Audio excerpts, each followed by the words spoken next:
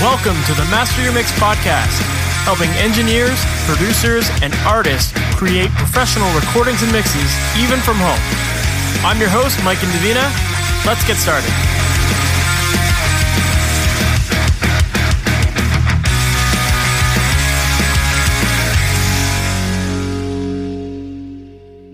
Welcome to the Master Mix podcast. My name is Mike Indovina, and thanks so much for hanging out today. Today, my guest is Taylor Larson. And if you're not familiar with Taylor, Taylor is a producer, mixer, and audio engineer who has worked with artists like Asking Alexandria, Periphery, From First to Last, I See Stars, The Dangerous Summer, and so much more. He is also a co founder of Mixwave, which is a really cool company working on making plugins and sample packs that sound incredible. And one of the things that really stood out to me when I was listening to all the examples of the Mixwave stuff is the quality of the drum sounds that Taylor gets. So that's why in this interview, we definitely dive deep into his drum process because he just has this way of getting really clear, punchy drums that have a lot of weight and impact and energy. And I think when you listen to his approach to how he gets them in this episode, I think you're going to definitely learn some new creative things.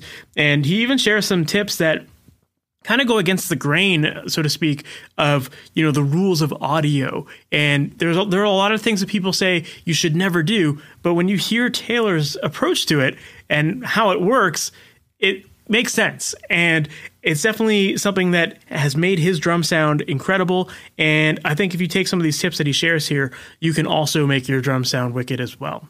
So with that said, there's just so much good stuff in here. Let's just jump right into it. Taylor Larson, thank you so much for being on the Master Mix podcast. What's going on, man? Not much. I'm excited to be here. Awesome. Well, thanks for being on. For people who might not know you or the kind of stuff you're working on these days and how you got into music and all that, can you give us that background on, you know, who you are, how you, why you got into music, and all the cool stuff you're working on? Sure. Uh, it's kind of a long story, but yeah, I'll, I'll try to condense it and, and tell it the right way. So, um, I pretty much started out playing music. I mean, my dad gave me a guitar when I was like three or something. So I don't even remember learning guitar actually. Like it was just always there. yeah, one day I'm just like playing Blink 182 and like Nirvana and Green Day and all that stuff. And I think like my dad and all his friends got a kick out of it. Like, look at this little kid's like playing these songs. but it was just like bar chords or, you know, whatever it may be. Um, and so I had always played music. I grew up around the DC area, uh, Silver Spring, Bethesda, that kind of area. And then when I was in going into like fifth grade, my mom decided she wanted to move to the Eastern Shore to Ocean City, which was kind of cool because it's like surfer area. And what's crazy is like there's there's scenes there. So like here it's kind of different um at least nowadays, but there it was like there was a bunch of kids that were kind of all into the same music and all into like skateboarding and then at some point there were shows and stuff like that. It was a really cool way to grow up, but it's funny like I remember when I went out there I uh, my dad took me to this pizza place, and this dude with like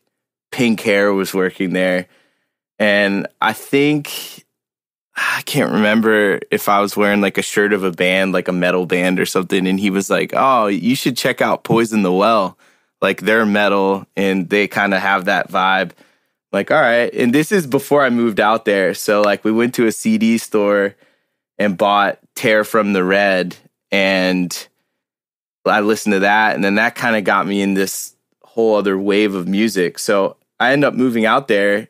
That guy's a senior when I'm a uh, freshman, and like I end up being in bands with this guy, and like amazing. I don't know. Like for, for, first, I went out there and I wanted to do the surf and skating kind of thing, but I had always played music, and then I kind of made a decision to like start a band and. They had local shows there and they were awesome. Like they had all kinds of bands coming through there um, and so we would get to play on those shows, and it was really cool. And then I got more serious with it, and I wanted to tour, and I did. I, I dropped out of eleventh grade to to go on a tour, and pretty much tour that whole year. and uh, I had to come back in 12th grade because my mom was like, you have to graduate. So I had to like go through night school to make up 11th grade and 12th grade at the same time, which kind of sucked. But I had always like been in bands, and I remember we uh, signed to this small indie label, and I had been listening to this record, The Receiving End of Sirens. I don't know if you're familiar with that band, um, but I was like obsessed with it. That was the first record where I was like, oh, wow, this snare drum sounds so cool to me. So I kind of went through and like figured out who did it. Oh, it was Matt Squire. And I went to our label and was I was like, I want to go record with Matt Squire. Well, at that point he had just finished doing Panic at the Disco and and the Maine and all time low, which is funny because we booked all time low to open our show in Ocean City for like 50 bucks at the time, which is crazy. But um yeah, and we played on Warped Tour with them. I remember we played this date that had like All Time Low, Cartel, had a bunch of cool bands on on the stage we played on. Um, but anyways, so we we told our label we want to work with Matt Squire. I guess they reached out to him and they were like, "Yeah, no, we're we're not going to pay for that." But we found this other guy, uh, Paul Leavitt. So I was like, "Well, all right, whatever. Like, I'll go listen to the sound clips on his website and see. And I was like, his snare sounds pretty cool. I mean, for me at that point, it was all about the snare. Like I was obsessed with snares. Snare is like the hardest thing to to get right. So if if someone's got it right, then you can trust them. Yeah, it's it's like the one thing in a mix where it's like you could have an amazing mix with a bad snare, and the whole mix would just suck. You know, Saint Anger. Um, yeah, yeah or even like I'm a huge Feldmann fan, or I was, and I remember that used record, the second one he put out, where the snare just sounds like a trash can, and I'm just like, huh, weird flex, but all right.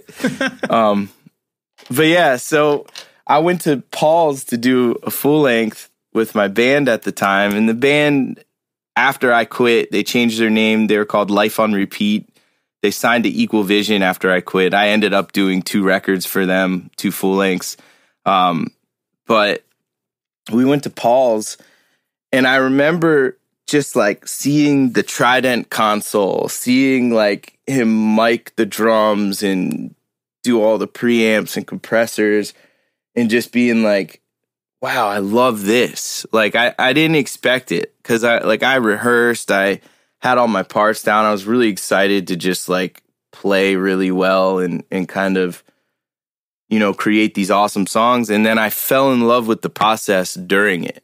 And I went home and I was just like, man, I don't really like touring. Like I don't like sleeping in a van. I don't like sleeping at a random person's house that's probably haunted or something. like I I just I don't know. It's it's I'm not really cut out for that. I'm not like a road dog, if you will. I fell in love with recording and I was like, man, I could just do this and then I can still write cuz my favorite part of being in a band was writing, like writing songs with my friends and like getting in that room and it's like, all right, I'm going to play this, the drummer plays that, here's a cool lead, let's come up with something. And like I love that part and I figured out like I can do this with anyone. I don't have to be in my band to do this, and it's amazing. So I uh, I quit my band. They were really upset, and then I sold. I had like an orange amp and some guitar gear, pedal board. I sold it all except for my guitar, and I went and bought like the first Intel MacBook that came out. I got that. I got Logic. I got like a Line Six tone port, and then I just started doing demos for my friends in like Ocean City, Maryland. Like, and I would save up and buy more gear as I went along. And eventually, I decided I wanted to move down to Bethesda because I just felt like Ocean City. It was like I don't know. It's it's kind of like laid back out there. It's it's not really a city vibe, and there was kind of more going on down here and my grandmother lived here, so I moved with her. Um, I think around when I was like 20, and I just started saving, buying gear, saving, buying gear. Like literally any money I made, I would go buy a distressor. I would go buy a new mic and then I'd sell that mic and that distressor and buy a vintage 1176 and like just kind of accumulated more and more and, and was just really obsessed. Like, uh, it's weird. And I learned all the tough lessons that you learn, you know, recording. It's like I wanted to have secrets and, and things like there were no podcasts like this. There there was nothing. And I was pretty close with Paul Leavitt and but like he was like, I'm not gonna really teach you anything to do with sound because you won't have your own sound then. Then you'll just sound like me. And like, what's the point in that? And I remember I was like so bummed about it. But then now I'm like, that's the best thing anyone's ever done for me because I figured out my own way for everything. And I, I think for anyone else, like that's so important. Um, I love teaching people. I love that you have a podcast that people that might not know as much can come and, and get some hacks or some little secrets that they can use. But I always tell people, like, even when I give lessons or teach them, like, take what I do, but then kind of figure out like what you like about it and maybe you can come up with something even cooler than what I came up with, you know? Well, the thing with it too is that like you can literally show someone the exact settings that you used and unless they are working with the exact same tracks, it's going to sound different, right? Like yeah. we all have our own interpretation of what sounds should sound like and or what instruments should sound like. And so because of that, we just you know tweak things to our heart's content until our ears are happy, right? But like, yeah, I mean, it, there's. I, I, I appreciate what Paul did for you by saying like you know I'm not going to focus on on this, but yeah, I mean he could he probably could have shown you it, and you still would have probably got different res- different results too, right? Yeah, and it's weird. Like I've had people that worked for me in the past like steal my sessions off my computer, like, and try to go out and do their own thing and use it. And I, I hear their work and I'm just like, there's some things that translate in, in work, right? So there's like, you know, there's samples and things that you use for icing on the cake and it can be cool, but it's just like, it's not going to work. Like you can't just, like unless you took an amp sim the exact one that i was using and then put the processing on because it's like i could have recorded guitars really dark and had a mixing chain that was super bright to kind of liven them up and you could have recorded them bright and if you put those settings on it's going to sound terrible you know? Exactly. Yeah back back to the the story i i came down here and i used to rent a room from paul and uh I worked there and then I, I hated driving to Baltimore. I hate Baltimore to begin with. Like the place sucks. Like you park your car and someone's going to smash the window for no reason or, you know, cuz they wanted to steal something or whatever, but um I was just like, man, I got to find something closer to my house. So I went on Google, looked for a place to rent and two blocks from my house there's this studio it was called like a perfect sound or a perfect pitch or something like that. And I went in and it's like owned by this old hippie guy and his wife is like the receptionist. And I'm like, hey, uh, I'm looking for a room to rent. And this guy was like so cool to me. Like he, I don't know, I guess he kind of felt like I was just a kid starting out. So he's like, you know what, I'll give you, I'll let you rent this room for like a thousand a month which was great, and the room was insane. Um, and this studio was the studio that they did. I don't know if you're familiar with the company Bethesda Softworks. Have you heard of them? No, I haven't. So they do like lately they did like Doom, but they did Fallout, the video game. They did Skyrim. Um, a lot gotcha, of big video games. Really, yeah, a lot of really successful video games. Anyways, they did all that stuff here. Like they did all the voiceovers in this studio. And so I rented that space and it was amazing. I did uh I did a record or a EP for a band Sky Eats Airplane there and that kind of got me in the door. Um another thing in parallel that was happening is my best friend that I grew up playing music with, he's a drummer. he was playing in a band called Periphery at the time. And so like that's kind of how I met those guys. Um and so I was hanging out with those guys a bunch and then I was just kind of working my butt off here just recording local bands and occasionally a bigger band here and there and that was like the start of my career. And then um the people that were renting this space, I mean, this place was like eight grand a month or something. Like it was insane.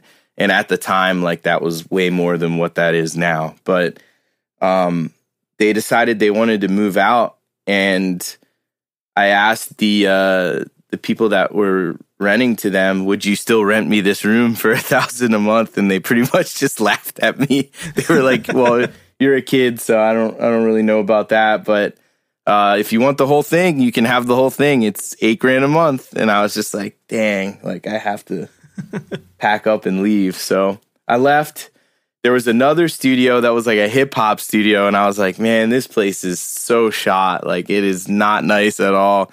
But I, I have to go here because I'm so booked up and like I, I don't have any place to record. So this place is kind of like it turned out to be like my sound city or something. Like it's like not a nice place, but the drum room sounded so good. And like I moved in there and like one of the first things I did was Periphery 2, which is probably the record that kind of I don't know, it, it I, I guess put me on the map if you would say. And I did a lot of stuff that had a lot of success there, and I don't know why it did. There's just something special about that place. Um, I'd been there maybe 10 years and they wanted to double the rent. Like it got bought by somebody else. And I was like, nope. So I left there and I went to my house. I built a studio in my house and it was really cool. And, uh, long story short, we created this software company called Mixwave and we went to look for a facility to kind of have the headquarters. And the original place that I went to, that was two blocks from my house, had not been touched in 10 years. Wow. So we got it. We're here. I'm right Amazing. back where I started. Dude, that's so awesome. yeah. And this time we have the whole thing. So it's like, there's like five or seven live rooms, three control rooms, lounges, lobbies, all kinds of stuff. It's pretty epic. That's crazy, man. What a what a serendipitous thing to have happen, right? yeah. That's crazy. Well, I mean, and definitely like in your story, it just sounds like you know one of the driving factors in your career has just been the fact that you've been so driven the whole way through. You pushed yourself to get into these places, and you know you were willing to just sacrifice certain things just to to make it happen. And so it's no question that like no wonder why you've reached the status that you have because you know you've worked for it. So man, just kudos to that because I think there's a lot of people out there that would get get discouraged at some point along the way and probably give up, right? So I sacrificed everything at the start because I was essentially like I'm going to leave my friends, my band, my whole community that I'd lived, you know, I lived there for 10 years and go to this city that like I've only been to like two or three times and just start over. And like at the time like I don't want to get too deep into personal stuff, but I was going through a lot of anxiety and just like panic attacks and and crazy stuff with that. And I was I was just like I'm going to change everything up. I'm going to go put myself in the most uncomfortable situation ever and see and like looking back anyone that that's listening to this like a lot of people thrive in uncomfortable situations. Like you don't realize it, but it's like when you feel like you're lost or you're not, you know, at a place where you feel safe or home or whatever, you get up every day and you go. You're like, I'm instead of being nervous, I'm just going to go do stuff to get rid of that feeling, you know? And that's kind of what happened with me. But I didn't, I'll say, like, in the beginning of my career, I worked my butt off until about the middle and then I burnt out. And that's another thing that like is so scary and it's something that if I knew what I knew now going back, I would have maybe had more personal time or like spaced things out. I mean, when I first started, I would be doing two bands a day. Like I, would have a band come in, track drums, track guitars, they would go home at 7 p.m. and then the vocalist of a different band would come in and record. And it's fun when it, when you're doing it, but you get to a point where like I would like go to the bathroom in the middle of a session and then I'd walk out and then I would just stand in the hallway staring at a picture for like 20 minutes and not even realize like oh you got to get back down there and record. You know like your brain just kind of like shuts off. Yeah. So that's something that's like super important is like anyone that loves it it's like yeah you love it but you got to pace yourself. It's tough. Of course. Yeah i mean there's there's definitely like it, it's definitely a struggle to find that balance of like work life kind of thing right and i think I agree with you. I think when you're younger, you have a little bit more leeway to like work your butt off and like maybe not as many financial responsibilities or whatever, you know what I mean? So it's like if you have that opportunity, just go for it, you know, put your if you, if you really if you really want it, go for it and like build as fast of a name as possible for yourself. Um obviously the later in the game you you get into this, the harder it would be to do that, but but it's still like it's still a lot of the same like work ethic of like you know you, you still have to work for it. You still have to put your best foot forward. You still have to do the best work. Um, and that's that's that's always going to be the best calling card for you you know? It's just like putting putting out a best like a great portfolio. The cool thing about it is like i think doing all of that and cramming all of that in kind of developed my ears because there's this thing that happens where it's like you start and you have no clue what you're listening for or what you're doing. Like, I don't know why any of my earlier records sounded good. I ha- I don't know why. I mean, I know why now because I know what I'm doing more so, or I know how to get to where I want to be. But like back then, I had no clue. I was just like hoping, like, and it's it's so weird that like like when I give lessons to people, I tell them like, just sit there with a two track of any song and just drag the EQ around and learn the frequencies. Because like when I mix now, I'll listen to a kick drum or I'll I'll listen to a snare or whatever it is, and I can see in my head what kind of EQs I want. I'll, I'll be like, okay, I want a metric halo on this. I want to use this and kind of saturate that, and I know everything and how it's going to sound, all the curves of the different EQs and stuff. And when you get to that point, that's when you can really kind of go off of your gut instinct and let things flow and be fast and just kind of I don't know, like it's it's so different. There there were so many years where I'm just like, man, how does this sound like this? Or, like I have no clue, you know. Do you feel like when you look back at your work that you'd you'd mentioned like some of your earlier stuff you really enjoy when you listen back to it and you're wondering how it sounded good. Do you feel like there was like a lull in the middle where like at the beginning when you were so hungry you were kind of just like critically listening and like maybe that's why you got the results you got? And then was there ever a period in the middle where you just got comfortable with the tools and didn't didn't learn? Like was that was that kind of part of your journey at all? Or have you always just been a learner yeah i don't know if it's exactly that so the thing that happened was this when we did the periphery record they told they showed me this gojira mix and it was like uh, the record's called the way of all flesh It was done by a dude named Logan Mader. And I remember hearing it and I'm like, damn, like, I, I, okay, all right, we'll go for that. So later on, I'm going into the mixing side of things and it's the referencing that got me there. It's going back and forth. I'm like, all right, well, okay, let me listen to the kick. Let me listen to the snare. Let me listen to the balance. Let me listen to the mid range of the guitars. And I don't know how I manipulated the things into being what they were, but it was like, okay, cool, I can get the snare where theirs is. And you kind of learn energy. Like for me, mixing, it's all energy. It's like, can I get something to hit me with as much energy as this has? And then when you go back and forth, the tones don't seem to matter quite as much. It's like, oh, is my snare hitting you know, with the power that theirs is hitting and, and just the overall presentation of it. Um, and that's kind of what got me there is just referencing things. And then I started taking things where it was like, oh, well, I really like this guy's kick drum, but I don't like the rest of his mix. And I really like this guy's overhead sound. And so I started referencing all those other things. And then I got to a point where I started referencing my own stuff. Like I was like, man, I really nailed it on this one. Let me see if I can beat that.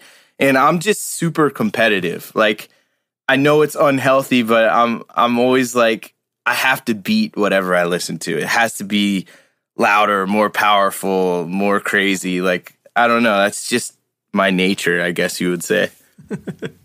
That's cool. But yeah, I mean, man, I, I could totally hear that in your mixes. Like they do have a lot of energy to them, and uh, and you you made mention to the snare multiple times so far, and that's definitely something I wanted to ask you about. You know, in terms of like your drum sounds, like you definitely have, to me, really energetic drums that that hit you hard, and especially when it comes to like the snare, um, I feel like you've got this like amazing talent of getting your snares to have a lot of smack and a lot of weight, and they that energy is there. It like bump like comes out of the speaker and hits you in the face, kind of thing. So. So with that said, like what what is your secret for snares? Like what, are you what's your normal approach when it comes to mixing snares? Where do, where do you start with it? Well, drums in general, like I don't know if it was Paul that told me this or if it was Matt or Brian. It was one of the three it might have been Brian and maybe Matt, but they were like, dude, you have to learn how to make drums sound good without triggers. Like that's the biggest thing.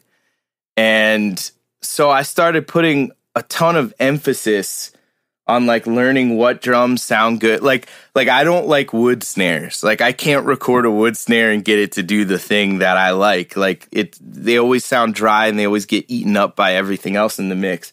So I kind of through trial and error learned that okay, I like the the Black Beauty or the Bell Brass, which is I mean everyone else likes those. There's no secret there, but it was mainly trying to learn how to get them to sound a certain way um, without relying on triggers, and then kind of after I felt like I could get drums to sound good right off the bat, then I brought the triggers in, and then I kind of understood it. But like hearing that from one of those guys was probably the biggest thing for me. And then in terms of snare, I remember so I was really good friends with this dude, Brandon Paddock. I still am to this day. And he was working for John Feldmann and he wanted to quit and he wanted to give me the opportunity to come take his job. So I flew out to LA and I went to Feldmann's. And like Brandon was already a fan of my records before that. Like I had already done Periphery. I had done my old band Life on Repeat, which the album at the time sounded pretty cool. And I flew out there and I remember watching Feldmann and I saw what he was doing with these Neves. Like, like, he, so I would just like kind of dial in my preamps before and then run them wide open. And that was cool I saw this dude was cranking the input, but bringing the output fader down to distort the preamp. I'm like, whoa, that, that was like blowing my mind at the time. and I remember getting home and trying that. And it was like, okay, you can get your snare to sound like a trigger or something, like just by doing that. And then I started doing that in mixing too. I was like, all right, what's going to happen if I take this SSL strip and do the same thing? Or you know this Neve clone or whatever. And that's what kind of makes that main snare that kind of leads the pack of all the samples that are under it and the bottom snare and all that. It it just makes it jump out to the front and I think it's probably to do with harmonics, overdrive, yeah. saturation, you know. Totally. It's kind of funny because like not it sounds like you didn't go to audio school, but like that's one of the things that you you first learn about when it comes to gain staging is like don't hit the red with your yeah. preamps because it's preamps like red red is bad, you know? And so like you just shy away from it and then when you actually see it done right for the first time, it's like mind-blowing, you know, because it's just like it opens up a whole new world of sounds and um yeah, definitely like snare distorted snare can sound really cool and have that fatness to it that you can't get otherwise you know, you just get that like kind of ticky sound if you go too too little yeah. on the on the preamp, right? I call it the PVC bucket. It sounds like you're hitting a PVC bucket with a stick, you know. It doesn't have any weight. It doesn't sound like a snare to me. But what's crazy is like that's the sound we love because we grew up with that. So like you think about like I got multi tracks a while ago from Queen, the song Killer Queen by Queen. And I'm like listening to the drums and I'm like they totally did the same thing on whatever console they did. So it's like I mean, you think about all the Sound City stuff, Nirvana and all that, they're, they're probably just overdriving the Neves. That's the sound. And so I think that's just what our ears love. And all the guys that are at the top, like you look at the Chris Lord-Alges and all the other mixers that are crushing it, they all break the rules. That's we like the rules to be broken. That's the sound we like, you know. Yeah, in a way, it's kind of like you know when you look back at you were saying when you look back at your previous catalog, how like your earlier recordings sounded a certain way. It, there might have been things that you were doing back then that were technically wrong that might have been right like for the oh, sound. Oh, yeah. You know what I mean? Like I think that's one of the things too. Sometimes like you learn the rules and then it like sticks in your head that you can't do these things, and like you you that's realize you can break the rules. Yeah, that's. I mean, for all your listeners, that's the big issue. Is like when people ask me things. I'm like, look, you can try this out, but you don't have to live by it. Or can I do this or that? I'm like, you could do anything you want. The the funniest thing that happened to me, um, I think it was Matt from Periphery. I was I was recording his drums and I look in and he hit the snare mic. It was like pointed the other way or something. It was completely screwed up. I'm like, well, I didn't hear it in the track when I was tracking. Let me compare. So uh, he started the song. It was fine. I knew by the end it was messed up. And I went and I listened and I was like, it doesn't matter. Like I used to think if somebody bumped a mic like on the drums, it would matter. It doesn't matter. Like it literally doesn't matter. I got to a point where I would do drums and I would tell the drummer, pick any mics you want and, and I'll put them on the toms and mix them for you. Like, you know, you just get bored and you like the challenge of making things sound cool. But there's so many things that don't matter. And another thing I learned that I personally like is you there's two types of records out there. You get records where every song tonally sounds exactly the same and the record feels like one long song.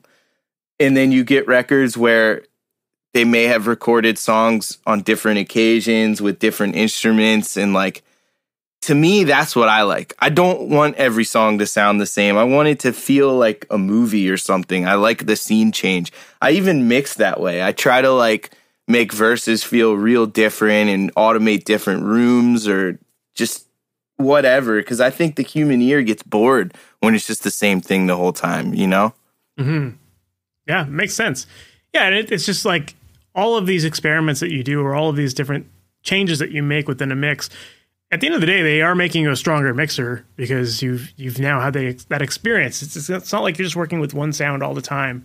You're learning yeah you're learning like you're expanding your color palette so to speak you know um, yeah and that just allows you to go back whenever you need that, those kind of sounds you you have that experience to know how to get it you know um, yeah yeah so so we were talking about the snare and you were talking about how like the Feldmann trick is to just like kind of drive the preamp um, and and when you get when you do that you know, is it just that you're getting a fatter sounding drum, or, or are you getting? Because one of the things that I notice with your snares in particular is that they have a lot of attack and like the they just they bite. So like, are you getting that because of cranking the preamp, or is it more the body that you're getting because of cranking the preamp? So there's a lot of different things that go into it. So like, usually when I have a band that comes in, I'm like, all right, do you want the crack snare or do you want the thud snare? And for me, the difference is like the crack snare is like Green Day American Idiot or or like the Dave Matthews song that CLA mixed. It's like really snappy and kind of maybe even a little bit ringy. It's it's really cool. And then the thud snare is kind of like more so what you'd hear on like Nickelback or like Paramore Riot, you know, that really kind of hits you in the chest and almost is like pillowy, thuddy, you know? Mm-hmm. And I I've kind of I think I started at the thud snare, like where I was more into that. And to me, that was like kind of more like that receiving end of sirens sounding snares, more soft, but still punches you. It's just in a different spot. And then I kind of learned both. And so, like, if a band tells me like I want a really snappy snare, well then we have to tune it different and I'm going to EQ it different. And then if we want to go for the other one, I'll like in the mix like I'll I'll literally scoop like 3k to kind of pull out whatever those offensive frequencies are. It might still be a snappy snare like going in, but it's just depends on what snare it is, you know. And like for me, audio is just manipulation. So mm-hmm. it's it's like just kind of getting that saturation and EQ to make it do the thing that you want it to do, you know? And I never compress snares. It's, I always feel like that makes them sound smaller. So like usually uh, it's only just overdrive and EQ on snares for me. Crazy. I, I, would have assumed that you were adding like a lot of compression, like parallel compression or something like that, because there is such that so much attack to them that I thought maybe that was something that was a. I do. So I do parallel compression on the whole bus. So like drums as a whole go to a parallel compressor and then a dry, and it's the same exact thing that goes to both. I know some people do really crazy stuff where they're the cymbals are going here, but the toms are going here. Like I don't I don't like that. I like to keep it more simple. But I do parallel compression in that regard, but it doesn't really have anything to do with what I do on like the actual track itself. Gotcha. that makes gotcha. sense. Yep. So then as far as like getting the drum sounds it, to you is it more important to get the tuning of the drum right than it is to like have EQ or is it the other way or is it a little bit both?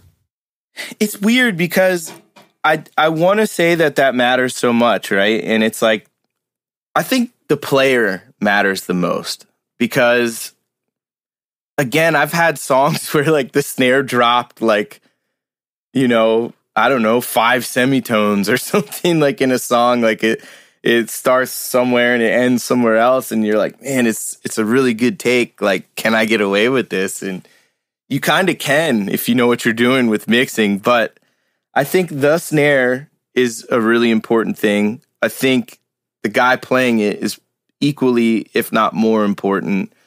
The room is important. And then, like everything after, if you have a great mixer, they're going to be able to make it awesome no matter what. If it fell out of tune, whatever, you know? For sure. Yeah. Yeah, I totally agree that the drummer really does make a big difference. And I remember one of my first mentors, he, he told me like the very first thing you should do whenever you record a drummer is just watch them play and see where they hit the drum, you know? And he, he told me like, you know, he, he would frequently just reposition snare drums so that they would, people would hit it in the center because they were hitting it off to the side or that kind of thing, you know. And he's like, yeah, that's how I got that attack that I wanted, you know. It's like moving stuff around, and and I guess there's some truth to that, um, you know, because people's playing definitely does make a big difference in terms of the sound you're going to get out of them, right? And the problem, like, so the one thing I do that's so different from Brian and Paul, and I I envy Brian for this, like I love that he can just take any band and make them work to like get a record and, and a lot of times those records were iconic. I mean, they're they're definitely records that I grew up listening to. But I don't have that patience. So like I'll get a band in that's paying me thousands of dollars and it's like you can't play your part. Like in or, or you can't hit the drums the right way and it's like okay, you could do this live. That's cool, but we got to get a session guy. Like for me to have the sound that I want to give you, if because here's the thing, like let's say they pay that money, he plays bad, and then it sounds bad. It's like, well, you're not getting what you paid for, so I need to be able to get you that sound. My thing is, I don't care who plays on the record. Like, I don't care if the bass player tracks the rhythm guitar or the guitar player plays the bass whatever sounds the best, whoever can pick it hard and give that attitude and that character, that's all I care about. Um, because to me, the studio is such a different thing. Like, like it's like when I hear Paul's records, to me, it sounds very close to like what you would see live if you saw a band performing live. For me, I like the ear candy. Like I grew up listening to Feldmann stuff with the used and all this and that, where it has all kinds of programming and just things that make it feel like a movie, you know? Mm-hmm. And so like I like that. And I don't know, I think I think you can have whoever do whatever. There should be no ego. There should be like anyone's idea is a good idea if it's a good idea. And at the end of the day, as a band, you have to learn how to recreate that live. And that's not really my problem, you know? yeah, but I mean, at the end of the day, you're right. Like, if a band wants a specific sound and they can't perform it that way in the studio, but maybe there's a better guitar player in the band who can make it happen, you know, like, why make only half the guitars sound good when, you know, just have that person play on all the guitars? Yeah, I, I get what you're saying there. It's like, at the end of the day, the studio sound, like the record is going to sound a certain way because of what went into it. So whoever played it, how, however that happened, like whatever, as long as you get the great result, that's all that matters. The problem with me is I just don't have the patience. So like I, I've watched Paul and like he has this method that's so cool because it's like he can sit there and track whoever and it's like he he used to take like 20 takes of each part and then he would just comp them all together. But like to me, you remove all of your I don't know. Is it drive? I don't know what it is. It's that that vibe of like hearing like for me, I love to hear everything done as it's happening. So like that's why I always bought like a crazy Pro Tools rig because I want to run the plugins while we're recording because I want to hear things sounding good as they're happening. I don't like to film my plate and then see what I can turn it into later. I like to build something and have it like when we're done tracking, it almost sounds like it's done type of thing. And I feel like when you do that, the bands react to that. They're like, holy shit, this sounds amazing. Like everybody's kind of feeding off that energy. And when it's like, if I'm going to be sitting here like bummed out that you can't play your part, that you should have rehearsed, that you spent a bunch of money with me, like it's not going to be good. Like I just, I want energy, you know? For sure. Yeah, there's definitely truth to that. Cause like it's so demotivating to a band when they're listening back to their recordings and they sound weak and you're like oh don't worry it'll sound better in the mix. And it's like will it? Like the, you know the band yeah. doesn't know that. So they, yeah. they, there is some truth to the fact that like people do want to hear it kind of sounding finished right off the bat and it should be because ultimately if you're if you're producing and, and recording everything all the way through then like you want you kind of have this vision in mind of what the end result's supposed to sound like. So why not just get that right at the beginning and and know that you're done. And everyone everyone is excited about it throughout the whole process. Yeah um, exactly. Yeah, yeah. what about for um, when it comes to drums again like what about for ambience? Like how do you go about typically adding like ambience? Like do you have any go-to reverbs that you like to use or how do you get that that size out of your drums? So two things. One i gate the snares pretty tight and to fix that so that there's actually some sort of sustain, I use a really tight, small reverb on the snare, something that sounds kind of cheesy in 80s, I guess you would say. But I bring it up just a little bit to kind of make it ring as long as the snare would without the gate type of deal. So that's the first thing. And you can kind of get the whole mix going and bring that up and down and kind of find where that makes the snare snare feel like it's kind of right. And yeah. then secondly, but you're working with a cleaner track because you've gated it, so you're not getting all that cymbal bleed and all that other stuff going into the reverb.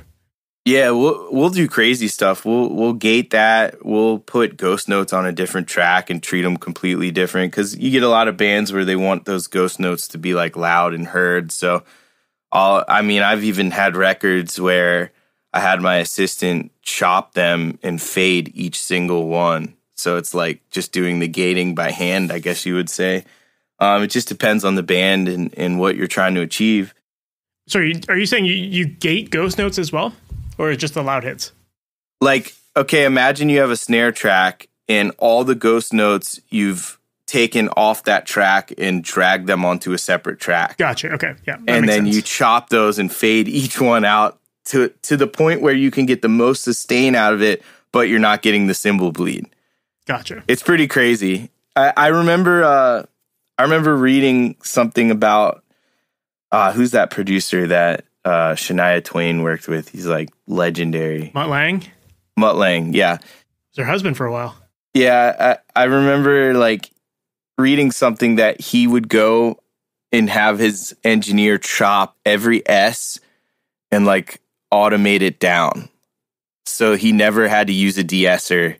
He just turned the S's down it's like so much work, but if you think about it, it's amazing because it's like you're pulling that sibilance back, but you still have the clarity of everything, you know? And so that it was kind of just like that workflow of like, all right, well let's let's by hand treat every individual ghost note. it's crazy. I mean, I wouldn't do that today, but I've done it in the past, depending on the band and, and what they're trying to achieve.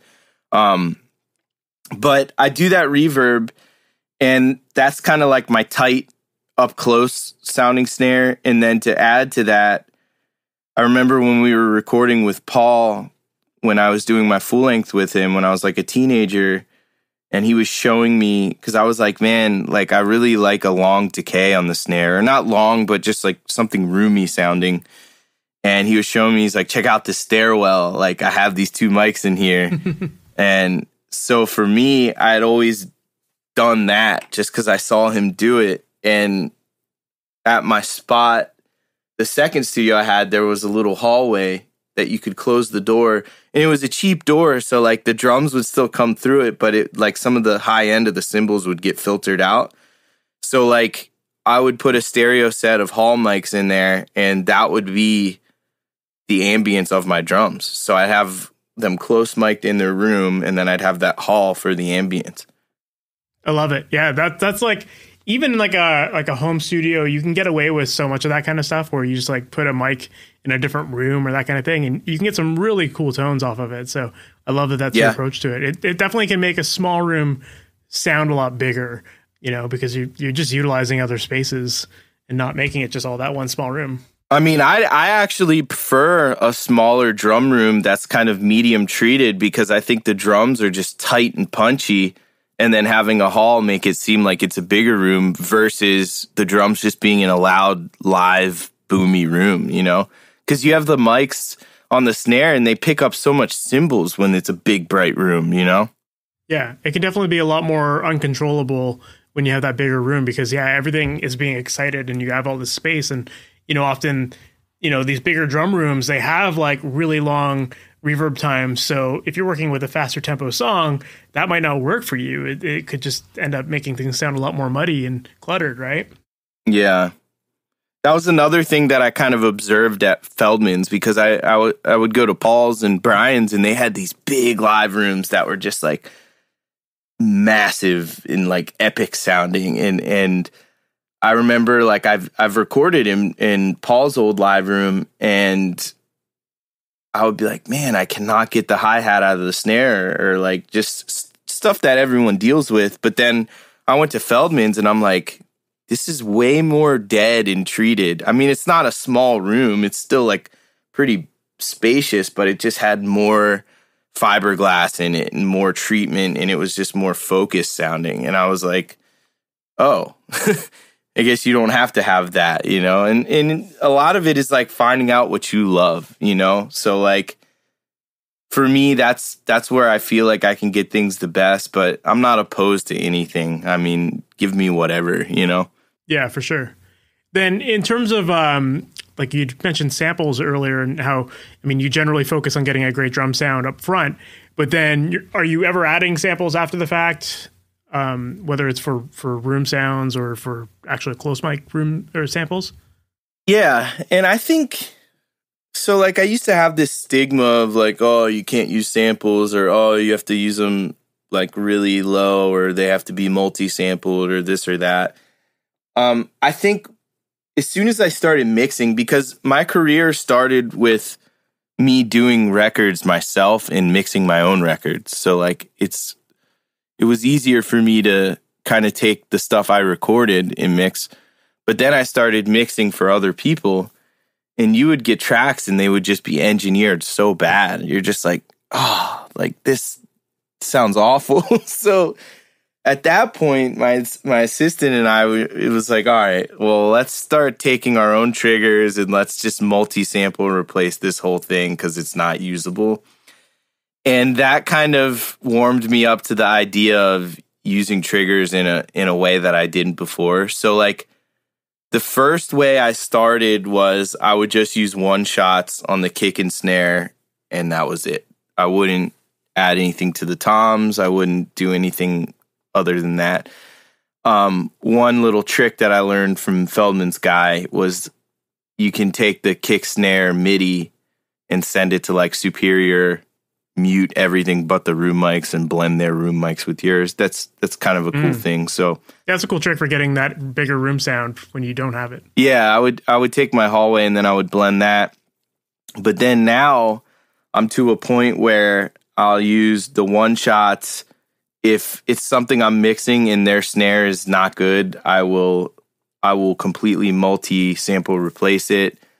And I've fallen in love with multi sample room replacement because you can get all of the cymbals out. So it's like I could take the actual room mic and I could take the same thing multi sampled with no cymbals and kind of just play with the faders where it's like you got to have the real one because that that kind of glues everything and makes it gel and and some of that bleed is cool in a way. And but then you can kind of extend that decay with the other one and kind of find that balance. So I'll do whatever now. I don't care. I'm not like, oh, I can't use samples or something. Like I, I grew up like that, and but now I'm just like, I'll do whatever it takes to make it sound good.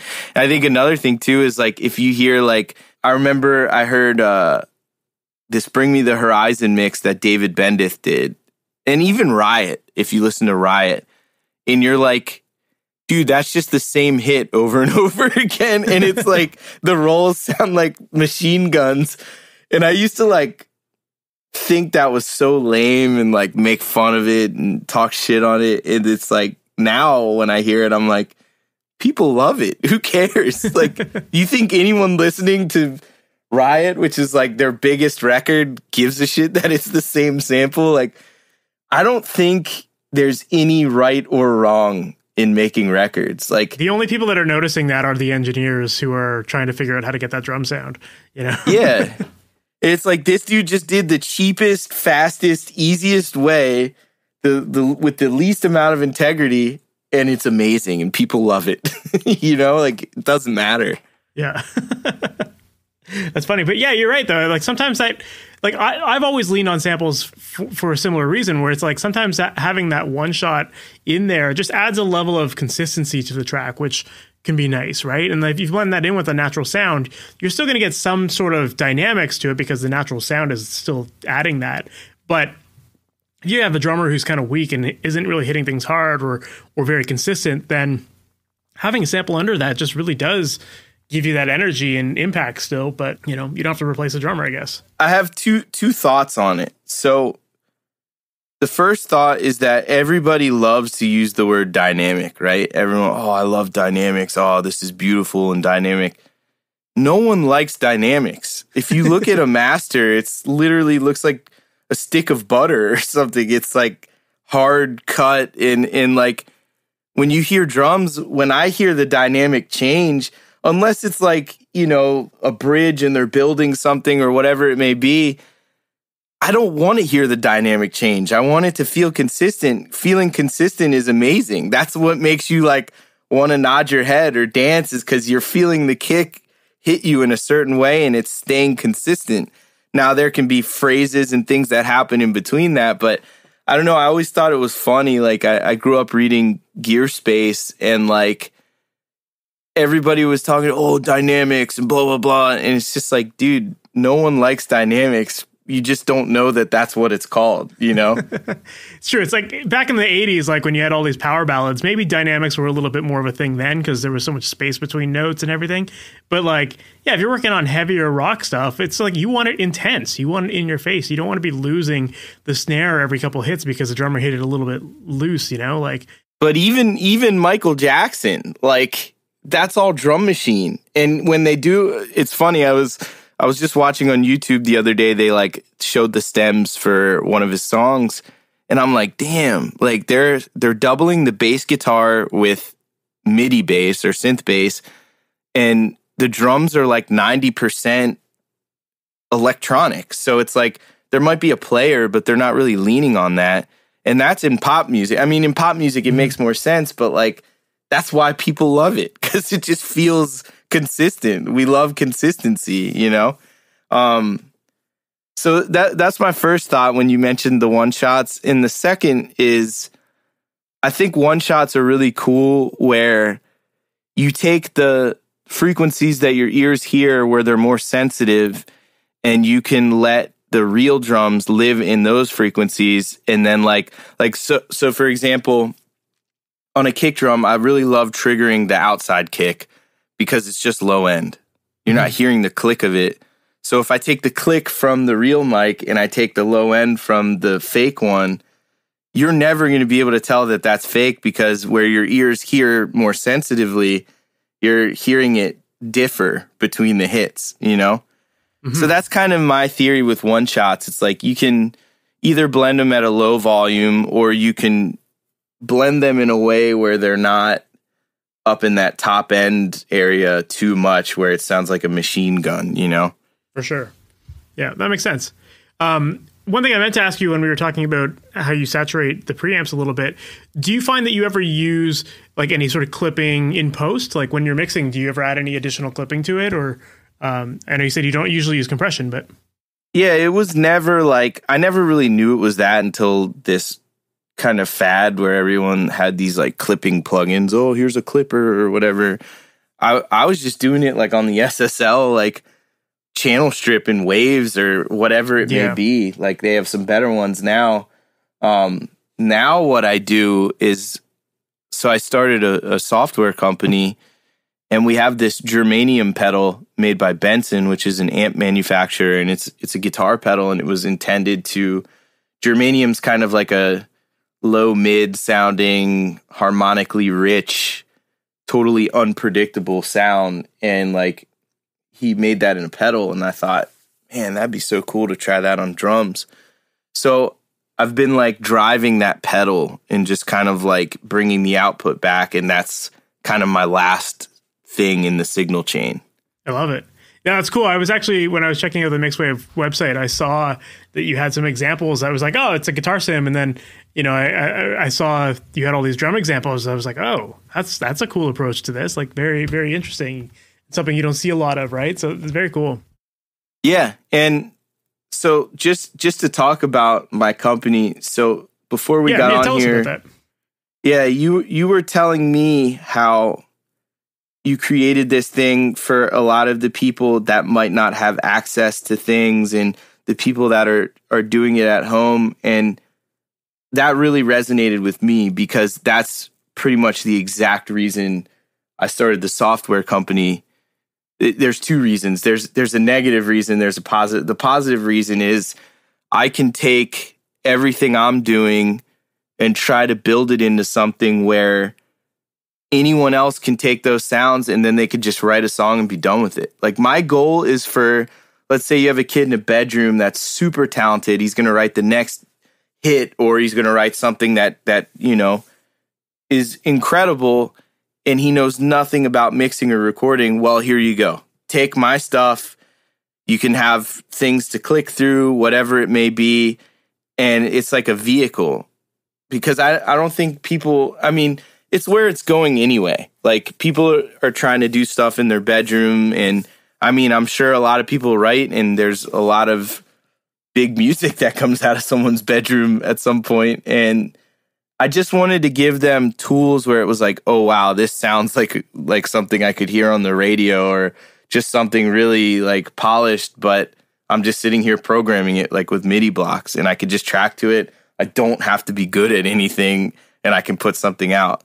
I think that's kind of a really liberating thing in the audio world. And if you talked to me five years ago, 10 years ago, I, I would have been like, no way, like never, I would never do that. But um, something just clicked for me. And the second reason was that I think music that comes out nowadays is so bad that this is like my way of making albums. It's making software. Cause it's like, I don't like any of this mumble rap trap music. I don't really and, and, like I've always been into like pop music and, and hits and like things that are kind of popular and I've always thought like oh I can see why this song's great or you know I've always just been a fan of songs. And nowadays when I hear stuff that comes out I'm just like I don't even want to be a part of this right now. So I was like instead of making records. I'm I'm just going to take a little hiatus and I'm going to make software because I can still be really passionate and like do something that I'm proud of whereas it's like with music, I'm there's certain things that integrity wise, I'm just not willing to do. You know. Fair. Yeah. Well, definitely like so for, for people who are listening to this who aren't familiar with Mixwave, like it, you guys are a sample and plugin based company, right? Is that how you yep. describe yourself? Yeah. And, yeah. and you guys offer drum samples and guitar packs and that kind of stuff. So for like anyone who uses these tools, like it's such a quick way to get started with your projects and to get good sounds. If you don't have the ability to mic up drums in your house or whatever, like these samples are going to get you great results right away. So, you know, I think it's I think it's really cool that what you're doing there. And man, I, I was listening to like a bunch of the the packs that you've got out there for all the drum stuff. Like you get some amazing sounds, and you get some big drummers that have offered their sounds to it too. So, you know, I think it's just a really cool platform that you've built, and uh, like you know, I know we spent a lot of time here talking about drums, but like that's a big part of your company. And, and when you listen to the samples that you're offering, like they sound incredible. So, you know, it kind of makes sense that you would focus on some drum stuff, drum stuff there, right? Yeah, it's, I wanted to take everything that I kind of held close to the chest, all the secrets, and then just build it in and put it out there. And like, another thing too is like I'm mixing for all these other drummers as well and, and we're getting things where everyone's happy and everybody you know, has a specific sound that they want to have, but it's it, you can reverse engineer the whole thing. Like you can literally click a button and then you'll have all the raw drums off the mics and you can build them yourself if that's what you want to do. I just I just wanted to like kind of cover both bases. And not only that, there's a button that has like the one shots like we we spoke about that you can add those in or take those out if you want as well. So we have a lot of cool stuff coming up. Um a lot of drummers where I'm just in there recording them thinking like how am I in the same room with this drummer right now this is surreal just people I kind of grew up idolizing and and we have a lot of that coming out a lot of really cool amp stuff but a lot of mixing tools as well there's probably about 20 plugins in the works right now so That's amazing man very yeah. cool yeah, like like I said, like they, you know, I was checking out all the samples yesterday, and they, they all just sound incredible. And the fact that you've got like, you know, Tony Tony Royster and Luke Holland and like all these other guys making these sample packs with you, like these are big drummers out there right now. So it's like you get these people sound. It's like having that guy play session drums for you, you know. yeah, pretty, pretty and Luke cool. Luke Holland is a, a co-owner in the company as well. Oh, awesome! Yeah, I created it with him and. Um, somebody that I would consider a mentor uh, that owns a lot of other influential record labels and, and companies and someone that I was very close with. So we all kind of, I went to this, this guy, Jeff, and I said, can we start this? And he said, yeah, let's do it. so that's awesome. We, we did it. Very cool, man. Well, yeah, everyone listening, like definitely make sure to check out the Mixwave stuff. And uh, yeah, Taylor, I don't want to take up too much more of your time, but like if people want to learn more about you and the kind of projects you're working on, or Mixwave, and or maybe even want to work with you, like what what's the best place for them to do that? I would say Instagram. Don't email me because my email is flooded and I don't want any more emails. But Instagram is is cool to connect. Uh, go on the Mix Mixwave Instagram as well. Um, check out the Mixwave website. I don't run either of those, but I always look at what's going on. So, yeah. Awesome. Well, I'll definitely include the links in the show notes as well, so people have that too. Awesome. But I'm in. Well, dude, again, thank you so much for taking the time to be on this. I really appreciate it. Sure. No problem. So that was my interview with Taylor Larson, and that was awesome. I loved hearing about his process for getting great drum sounds. And his drums definitely sound incredible. They definitely have a lot of energy and a lot of impact to them. So it was cool to kind of pull the curtain back a little bit and hear a little bit more about his process.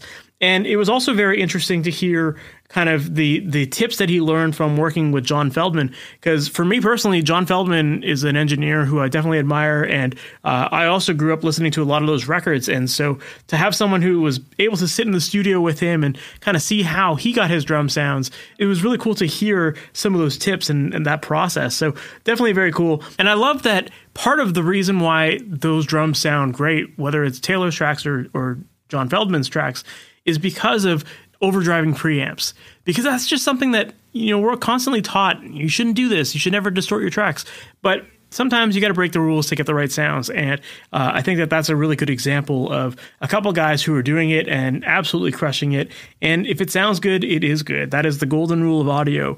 And uh, sometimes you just need to learn how you can manipulate sound and how to do the wrong, quote unquote, wrong things to get the right sound. So it was definitely cool to hear all that stuff from Taylor and to learn all that kind of stuff. And I hope that you found this episode valuable. I definitely know that I did. And I hope that you were able to take away a lot of great tidbits here because there was a lot. So definitely make sure to implement some of this stuff into your tracks next time you work on your drums.